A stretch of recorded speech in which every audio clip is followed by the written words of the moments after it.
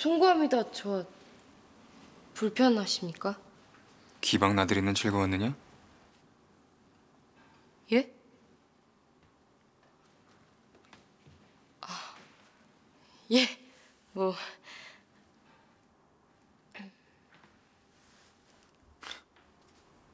그래. 내 잠시 잊었던 것 같구나.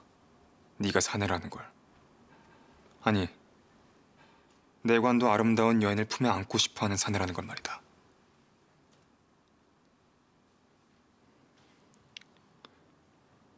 지난밤 내 말은 신경 쓰지 말거라. 더 이상 너를 다른 이로 착각하는 일은 없을 것이다. 장내관. 이주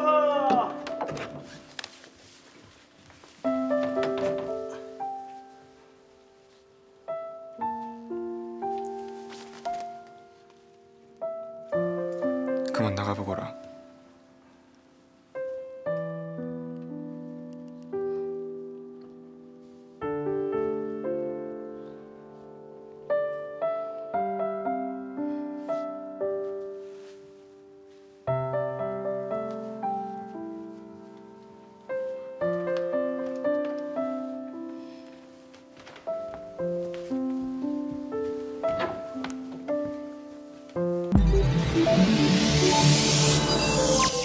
KBS